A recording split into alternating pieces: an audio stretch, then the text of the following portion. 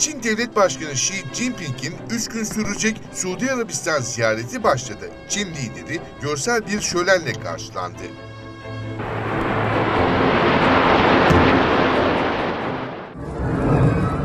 Ülke hava sahasına girmesinden itibaren Çin Devlet Başkanı'nın uçağına Suudi Arabistan uçakları eşlik etti.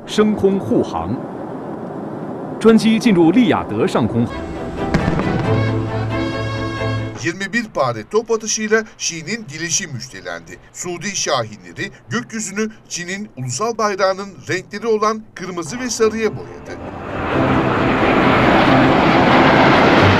Kendisini karşılayanlarla tek tek tokalaşan Çin lideri ilk açıklamasını yazılı olarak yaptı.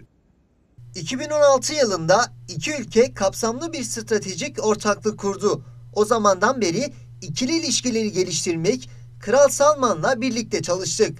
Bunu yalnızca her iki halka fayda sağlamakla kalmadı, aynı zamanda bölgesel barışı, istikrarı, refahı ve kalkınmayı etkili bir şekilde teşvik etti. Havalimanındaki törenden sonra Şi, Kral Salman bin Abdülaziz ve Veliaht Prensi Muhammed bin Salman tarafından düzenlenen karşılama törenine katılacak. Ardından ilk zirve yapılacak. Çin-Suudi Arabistan zirvesinde ikili ilişkiler, ortak çıkarları ilgilendiren uluslararası ve bölgesel meseleler hakkında ortak bir rota çizilecek. Milli paralarla ticaretin hızlandırılması, Suudi Arabistan'ın Şangay İşbirliği Örgütü'ne üyeliği öne çıkan başlıklar arasında.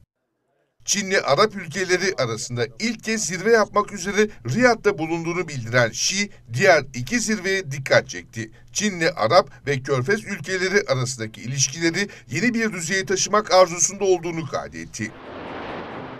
İlk kez yapılacak Çin Arap ve Çin Körfez zirvelerine katılmak için çok sayıda ülkenin devlet başkanı, dışişleri bakanları da Riyad'da. Zirvelere hangi ülkelerin katıldığına dair henüz resmi bir açıklama yapılmadı.